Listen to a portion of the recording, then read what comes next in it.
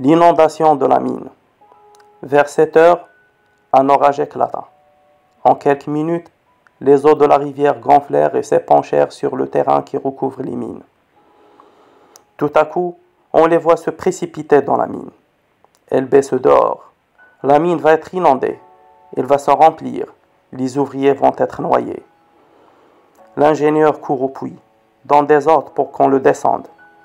Mais prêt à mettre le pied dans la benne, il s'arrête. On entend à l'intérieur de la mine un tapage épouvantable. C'est le torrent des eaux. Ne descendez pas, disent les hommes qui l'entourent en voulant le retenir. Mais il se dégage de leur étreinte et prend sa montre dans son gilet. Tiens, dit-il en la remettant à l'un des hommes, tu donneras ma montre à ma fille. Si je ne reviens pas, tu lui diras que son père l'embrasse.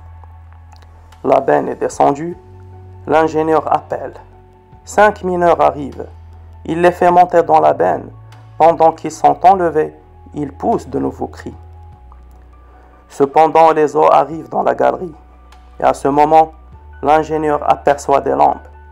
Il court vers elles, ayant de l'eau jusqu'au genou, et ramène trois hommes encore.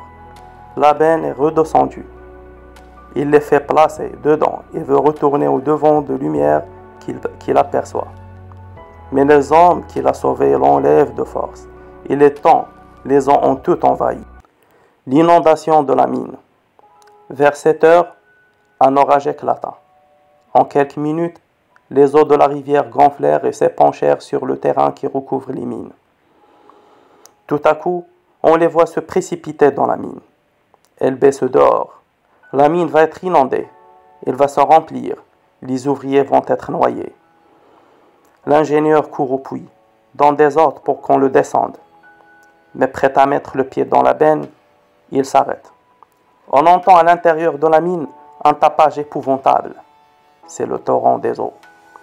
Ne descendez pas, disent les hommes qui l'entourent en voulant le retenir. Mais il se dégage de leur étreinte et prend sa montre dans son gilet. Tiens, dit-il en la remettant à l'un des hommes, tu donneras ma montre à ma fille.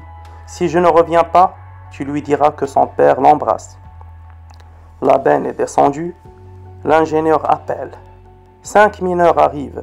Il les fait monter dans la benne. Pendant qu'ils sont enlevés, ils poussent de nouveaux cris. Cependant, les eaux arrivent dans la galerie. Et à ce moment, l'ingénieur aperçoit des lampes.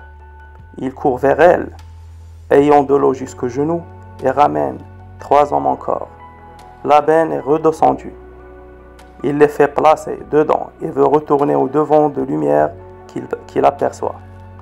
Mais les hommes qu'il a sauvés l'enlèvent de force.